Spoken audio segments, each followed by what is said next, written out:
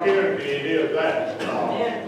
When you sang that message just a minute ago and, and that word king came out, what is your vision of a king? That's what I want to think about this morning. When you look at a king, do you look at a leader? Do you look at a powerful person? A person set over many things? What is your vision of a king? Because God sent us the king, right? The king of kings, the Lord of lords. Amen. So what is your vision of him? And that is a lot of things that led a lot of people astray. I have a little picture in my hand this morning, and I, I don't know whether all of you have ever seen it, but it's called The Beautiful Handmaid and the Hag. And if you look at that thing for a few minutes, it will mess up your head and your mind because you're seeing two different images of the same image. If you look at it one way, it is a beautiful young woman with the head turned, and it, oh, that's nice, I like the way that it's hand drawn. And then if you look at it another way, oh boy, it looks like me, oh, big nose, chin, you know, don't, don't look all that sporty, but it's all in the same picture. So when you look at the Word of God and you look at that man king, what do you see? Do you see it in your mind as you perceive it, or do you see it by God's Word? And that's the part I want to examine this morning, because it's most important. Does my face shine and glow? It does. Oh, All front does, I'm sorry. I got a part of me and glow. Maybe the Lord's slipping up behind me and trying to trying to get me, push me forward. You got to be. But you know, if you look at the, the Word of God and you look at people that have made tremendous difference in, in the Word, you look at Moses, the children of Israel taken out of captivity, and uh, I, well, I'm not going to go through this long line, but you know what Moses accomplished. When he got to Mount Sinai, they camped out for about three years to learn how to serve and worship God. Okay? So Moses went up on the mountain, and when he came down with the commandments, the first time didn't go so well, the second time he came down, there's a passage of scripture that said that his face was aglow, was shining. And the people were scared and feared him because of that change. So around them, he wound up having to wear a veil to hide that shining of the face. Okay? And when he went in the presence of God to get instruction, he took the veil off. Because that's where that shining came from. You know that he was in the presence of Almighty God, and you see a change, a physical change. Don't take my word for it, take God's word for it. If you look at Exodus,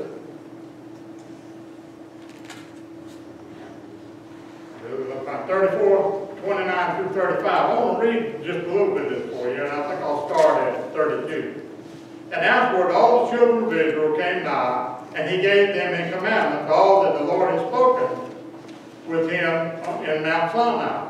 Until Moses had done speaking with them, he put a veil on his face.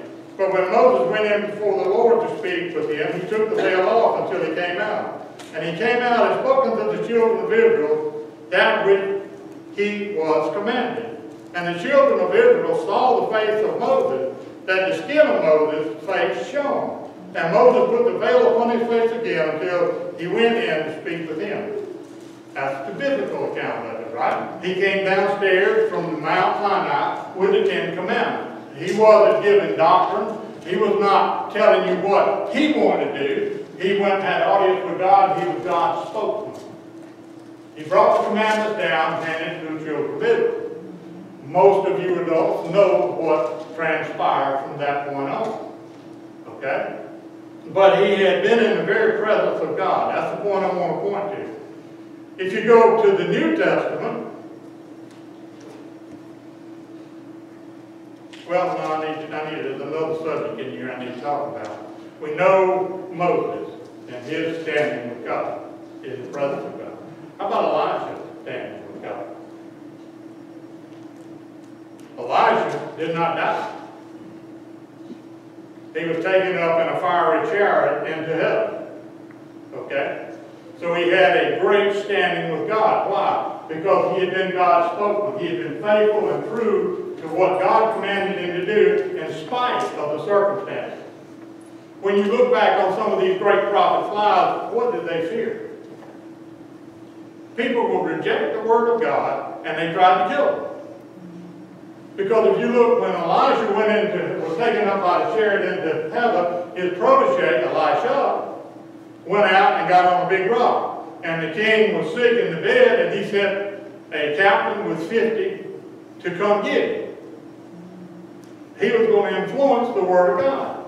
And that captain of 50, the first gas group came, would go take him down off the rock, and he prayed to God and asked God to consume them in fire, and what happened?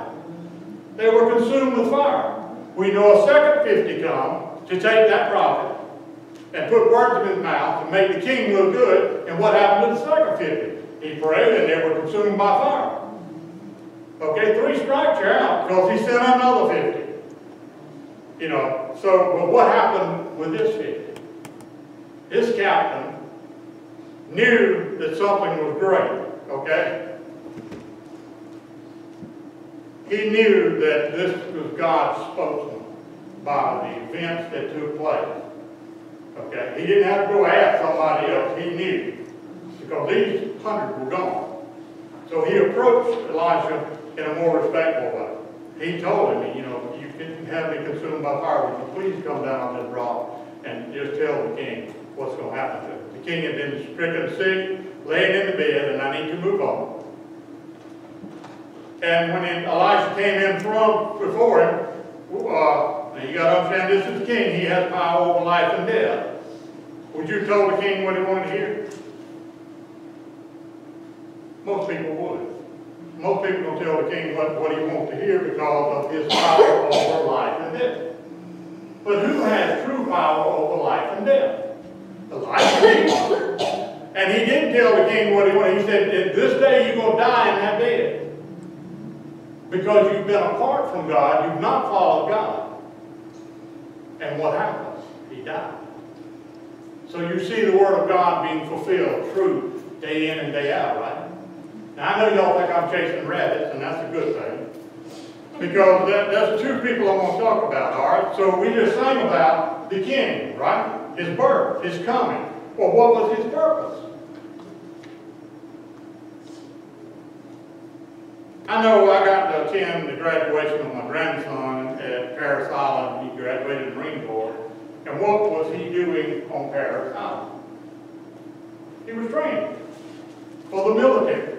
He was training for physical conduct, to be physically strong, to be mentally strong, and to learn the ways of the military and how to conduct himself and how to wage war. That's a terrible thing to think about. That's what you're training for. But that's what he's training for. And then when he leaves Parris Island, he goes on to another form of training, right? The actual hands-on combat training. Okay, for combat. So keep that little nugget in mind because we're going to go to Jesus' transfigured. And you'll understand why I had to talk about Moses and Elijah. And I want to read this to you. This, I'm going to read Luke's account of it in chapter 9, starting at verse 28. And it came to pass about an eight days after these things, he took Peter and John and James and went up into the mountain to pray. And as he prayed, the fashion of his countenance was altered, and his raiment was white and glistering. And behold, there talked with him two men, which were Moses and Elijah, who appeared in glory and spake of his decease, which he should accomplish at Jerusalem. Now here you have Elijah, which is foretold in Scripture, Isaiah, Jeremiah, and several other places in the Old Testament, okay? Here you have their foretelling the coming of Christ. Here you have Jesus talking with Moses and Elijah, and being transfigured. He carried these three men onto the mountain, and I got thinking and praying about that thing this week, and I said, why just the three? Why not all twelve? Because one of them was afraid. One of them might have been like me. I like to put this off on running there three lines of communications in the world. There's a telephone, a telegraph, and hell running. And I, I should do that to her. Oh, I love her to death, okay? But you get my point, okay? And the reason I bring that up is because if you read on in the story, it says, and I'm gonna read the very last verse to tie this in. And I gotta go back, okay? And when the voice was passed, Jesus was found alone, and they kept it close and told no man in those days any of those things which they had seen. Why? For the time. It was the time. Remember what I asked you about a king? When the children of Israel were looking for a king to come, what were they looking for? What, they, what was their carnal envision of a king?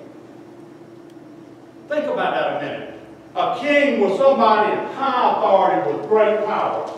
Their vision of the king they wanted was to come in, overthrow the Romans, reestablish the temple worship, and put them in power. They would be great in the kingdom of God, except for one thing. They weren't following God. They had taken simple Ten Commandments and turned them into 300 commandments. If every time I turn around I know the Ten Commandments and somebody keeps adding and adding and adding to it, can you, I can't remember 300 things. I can tell you that now. Okay, my wife used that all this week. Okay? Got in the truck this morning to run all the gas out of it on the way back from eating. And uh, I finally learned to punch some the buttons on the steering wheel and it comes up and it gives it tire pressure and mileage and then it comes to a little screen that says fuel range. And as we were leaving River Church Road this morning, I punched that little button up. I thought, this thing is on empty, it's dinging. You know, the little gas pump sign's coming on. So I punched it up and it said I had 53 mile range. Okay, we can make it up to the filling station. We'll be all right. We'll get to church on time. What came out of Rundle's mouth? You can't believe that thing. That thing, you know, because it don't know. I said, well, they put it on the vehicle for that reason. Yeah, but I didn't ask for it. He just came with it. Okay? So if you're not going to believe the message that is given, what good is it? Okay? So you look at the children of Israel, and Moses and Elijah, and the coming of God. They were looking for a king to restore them to their power, the carnal power. They controlled everything that was going on. That's not what Jesus was about. That's not what he intended to do. I get tickled at that because I know I want to steal Frank's way. You know, I work for a man that told me there were three ways to do things. I got a friend here that'll attest to it. He said there's a right way and there's a wrong way, and in this instance, it was Eli's way. His comment was to us, around here we do things Eli's way. Well, that's in contradictory to the word. Look at the children of Israel, the, the Sanhedrin, the high council, the priests, the Sadducees, the Pharisees. These people knew the Old Testament. Most of them had memorized it. They could quote Deuteronomy word for word from beginning to end. So they weren't ignorant. But their vision of what God was going to accomplish was different from what God was going to do. I read this little commentary on it, and this would be verse 9 and 26. And Luke's giving you this vision. It says that Luke's Greek audience would have found it difficult to understand a God who could die. Think about that a minute. We know from past sermons that we've had and past things we've taught, we know that the Ark of the Covenant was captured by the Philistines, put in the temple with Dagon. What happened to Dagon? First night he fell over. Fell over face first down in front of the Ark of the Covenant. Did that signify a greater God? So we see the, the worshipers come in, set Dagon back up on his place, and the Ark of the Covenant's still there. And what happened the second night?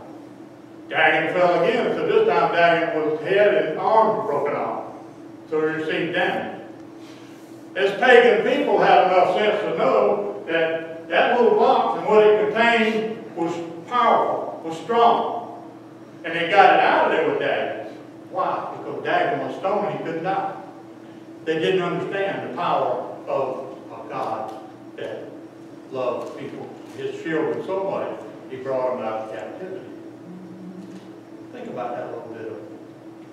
What was Jesus doing for you and I? He died on a cross to bring us from being lost to salvation. He died on a cross to make sure that we as people could come and have fellowship with Him. We are joint heirs with Christ. When you hear that little verse in the Synoptic Gospel, where John the Baptist is baptizing, and then Jesus comes down to the water to be baptized, and John tells him, I'm not unworthy to unlatch your sandals. And John was pretty high, was he not, in God's eyes? And they baptized him, and he came up, the dove appeared, and what came out of heaven? This is my beloved Son, in whom I am well pleased. So you got God's stamp of approval. Where else did that take place? Look at the, I'm not going to call him apostle, servant Stephen. Stephen was chosen out of a certain church, there were seven chosen to minister to the widows and orphans in that church. He was not a member of the original 12 disciples. He knew God's word. He was willing to serve. And he preached to the Sanhedrin a message they didn't want to hear. Going back to the law. The law said that if he claimed he blasphemed God, they had the right under the law to what? Stone him to death. Well, think about that a minute. Now here you got this great council up here that has the power by interpreting the Ten Commandments to stone Stephen. Well, why did they stone him? Because, man, he stood up in their midst and told them what was going on. And that, you can look at it in the books of Acts 6 and 15, it talks about his face shining. But if you read that chapter before, it tells you that Stephen gives you a great message of Jesus Christ. His coming, his preaching, his healing, his teaching, and they rejected it. They rejected it. Why? Because their vision of a coming Savior and King was not what they wanted. If you go back and study the Word, it says we are followers of Moses, not followers of God. So that, that you see the failing in the error, the way it's right there. Because God sent the commandment. Moses didn't send the commandment. Moses was just a vessel that he used to communicate. Okay? So let's go back to the transfiguration then. What is the importance of you have Jesus being transfigured, those three disciples seeing him in his glory and the glory kingdom of the glory of God by the representation of the changing. It says that his garments were so shiny, his skin and hair and stuff was white as wool. Uh, in one instance, you can find this in all three of the synoptic gospels, Matthew, Mark, and Luke. One said that it was so bright that the fuller of the earth could not clean it and make it that white. The fuller being uh, an age of something like bleach. If you want to get your t-shirt white, you add bleach to the wash, do you not? And it should restore the color of that t-shirt back to white. So if you look at this, what is the significance of the disciples being there? They seeing this transformation of God. They're actually seeing the Son of God. Okay? They're literally seeing into heaven. They're seeing this Son of God and into heaven to see God. And what does he say? This is my beloved Son. Hear him. So the message hadn't changed, had it not? So I got to thinking about that thing. Why just Moses and Elijah? Why not King David? Why not Noah? They didn't represent what Jesus was trying to show these men that they were going to stand for, they were going to preach for, and they were going to die for. He knew their heart. He knew the content of their heart. And that's the difference.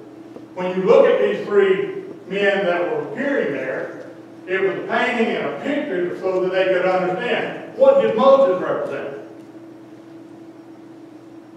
The Mosaic covenant, the law. And they failed. What did Elijah represent? It represented the prophets, the prophecy of being foretold. What happened to the prophets? And it beat killed and didn't listen to them. So you see the fallacy of me, and I'll use me because I don't step on anybody else's toes. I'm not following the prophets. I'm not hearing them and what God's saying. I hear what Frank wants to hear. That's what my wife accuses me of. I've got very selective hearing. Okay? So we know that through the prophets they rejected him and went about their own way. When you look at Moses, they did not follow the Ten Commandments. Had we followed the Ten Commandments, there would have been no need for Christ to come. So you're seeing the two failed attempts to save and rescue me.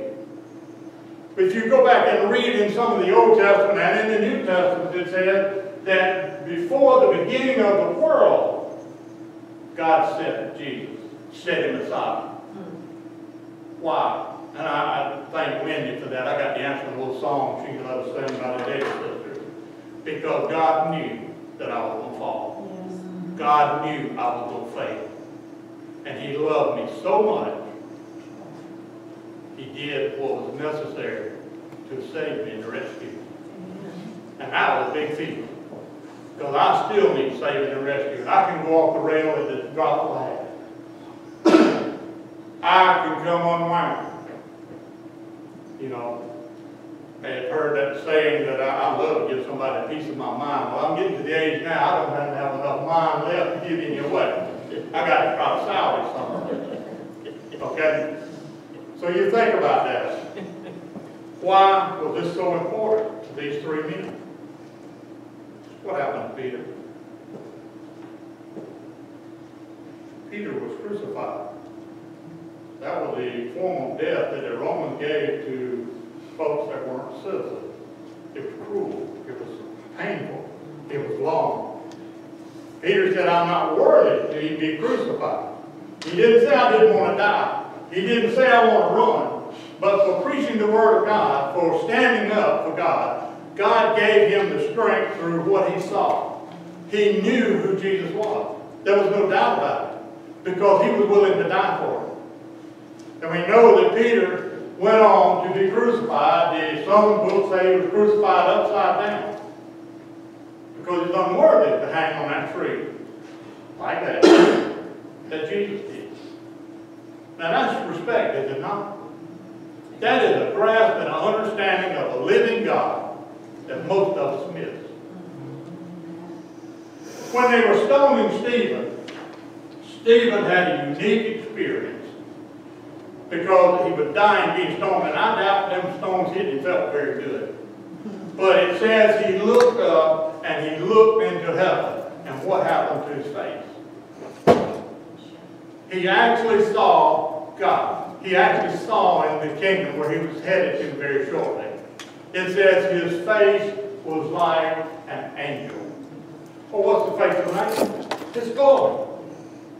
Okay, so you're seeing a man that was chosen to serve. He's willing to serve. He faced the Sanhedrin and, and the council and the Pharisees and the Sadducees of the Moses followers. They claimed he was blasphemous to God. And through that blasphemous, they had the right to stone him to death because they disagreed with him. And they did. Who was attending that stoning? Paul. Saul was the word he was there before God changed his name. Was standing there and keeping, they threw the coats off because I think it must have been a lot of work to go on they took the coats off for a rock there to stone him to death. And if you look at the wording in that, I think it's up there, Acts 6.15, it says something very unique.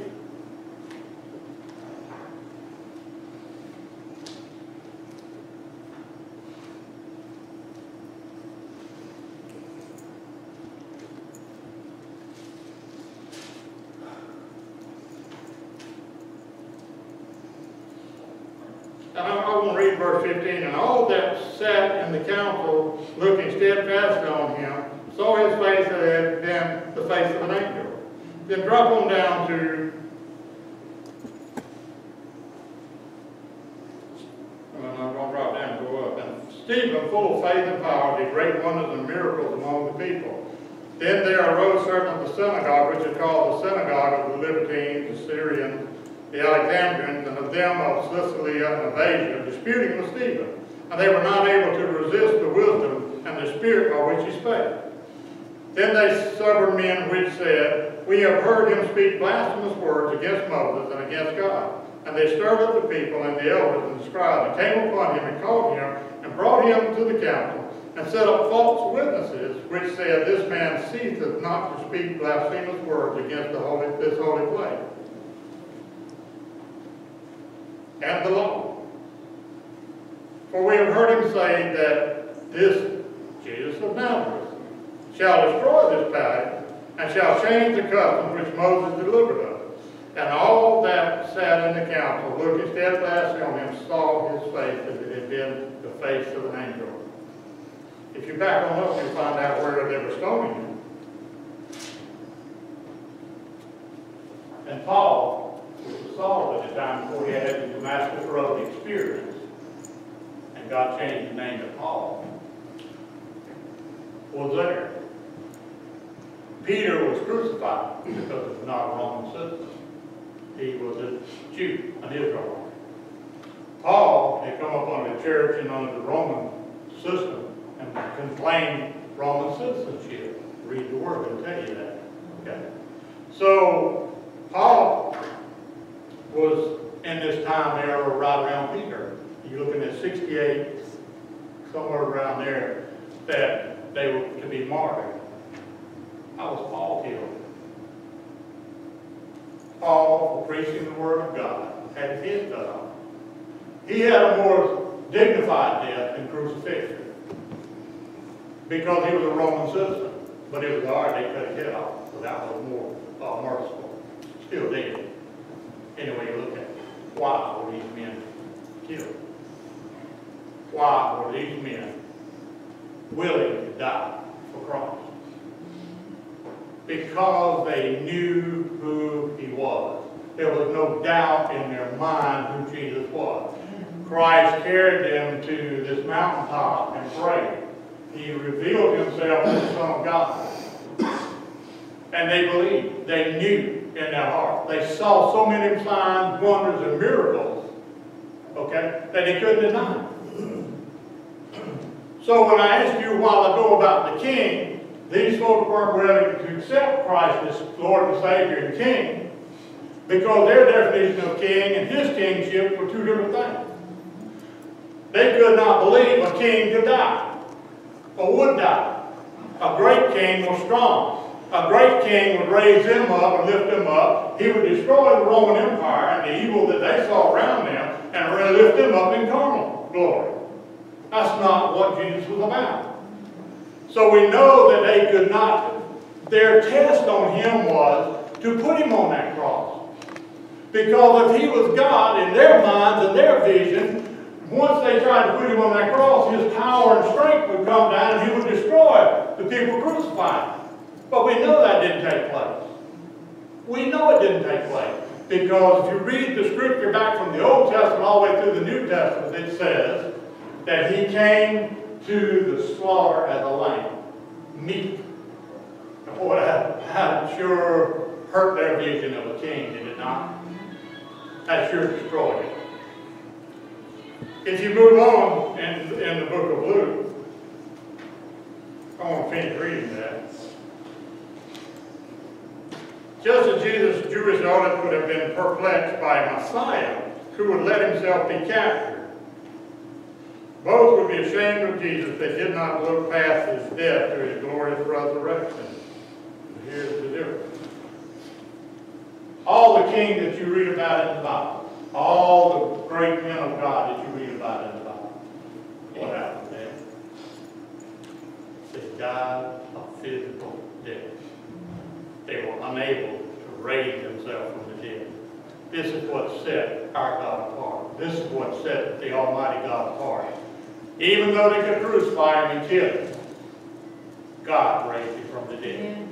And that's the difference, folks. That's the power of Jesus Christ. That's the power of this book. That is the power that's in your heart and your life that you can access because God has conquered the grave and death. He stands alone. We see Dagon fall and get damaged just from the presence of the altar. We know that Christ suffered a cruel death. We've heard Cortez teach about the massive beating and bruising of his body. But God allowed him to go to the cross. Why? Because the commandments failed, the prophets failed, we didn't listen. But here we have the ultimate sacrifice, the one and only needed now, that Christ died for all, so that all might have eternal life, so that all could have a right relationship with Him.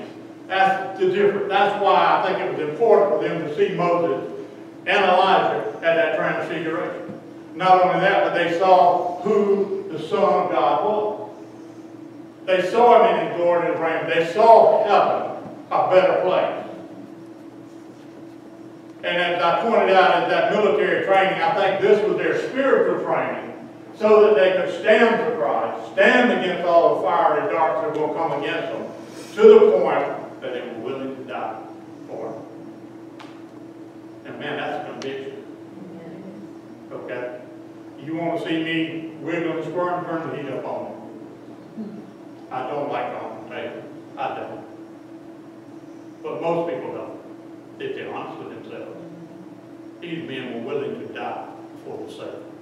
They to preach the gospel in spite of the circumstances. They were going to speak the truth, even though it stepped on toes. I don't think I want to attend one Paul's sermons. And I base that upon he wrote two-thirds of the New Testament. And Paul points to Jesus. Everything he says and does points to Jesus. I look at Paul and I love to read that part about that Damascus Road experience. Here's a man on fire for temple worship for the commandments. He's got a script in his hand from the Sanhedrin that he can legally arrest and have Christians put to death. And that's what he's about. So he has a zeal to do what he thinks is right. When God confronted him, what did he say to him? Paul, why persecutest thou me? And he was blinded. You can go on to read and come to find out. Paul didn't just jump, jump off the horse and God converted him and he went preaching. It was time, three and four years worth of time that he spent learning, training. This is a well man, well versed in the Old Testament, well educated. If you go and read the scripture, it says he was uh, one of the top in his class on the school of Why does that matter? God's choice and God's choosing is different from mine. God's love and my love are different. He loved me so much that he died for me. Mm-hmm. He prepared a way. When you look at the failing of the commandments, why did the commandments fail? Not because God was perfect, because man is not perfect. Someone catches me doing wrong and confronts me with it, what's the first thing that'll come out my mouth? Usually a lie. I'm gonna try to lie my way out of it, I'm gonna try to work around it, no, you didn't see that, you're lying out. Okay? So we killed the prophet. We wanted a king and Messiah that would come in so much power that he would raise me up his arms. That's not what God's about. He came, laid down take it from. To show the power of God through the resurrection. Find me any faithful book that says you serve a Savior that has power over death and the grave. One of the things I heard in, in a message, I didn't personally know the guy, he was a Muslim, and became a Christian. And you know what turned? He said, I know the Muslim faith. I know the writing. I came to a crossroads because I read the book Bible. And he said, what made me look and change my mind? When I got to that crossroads, I looked for Muhammad and I saw a grave and a group tombstones on that end of the road. I looked the other way, and what did I see? I saw a living, raised Christ. And he said, it didn't take a lot of concerning and turning to realize I might better serve this living God instead of this one that's dead buried. Which one has the greater power? Which one has the ability to save my very soul? And that's the question you need to ask. Who do you serve and why? God has certainly blessed me. He's given me opportunity beyond measure. I've told you my feelings about this pulpit. I don't like it. Because lazy. But to get up here, I've got to get in the Word of God. I've got to read it and study it and do more than just read it as a novel. I've got to apply it in here somewhere. What is God saying to me? And it's caused me to probably grow a thousand times more than y'all listening. Hard believe it. I have a good friend here today that I imagine is looking, oh my God, is this same fellow I worked with 30 years ago? Hmm? But I want him to use that in a different light, okay? He knew me when I was lost, unsaved, undone, a servant of Satan, a servant of the world. I cut the rungs off the ladder to keep somebody else from getting higher than me. That was my mentality. But you can see through me, and it ought to be a great feeling to know that I can see the work of Christ in others, that they can change. Don't give up on me. Pray for me.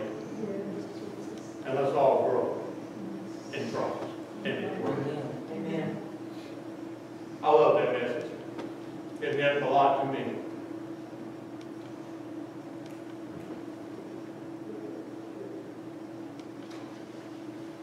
Jesus was persecuted Messiah. Jesus was blind, crucified. Why would you think you would be any different? Think about it. I love the Lord, I love this church. And church family, the church is not the building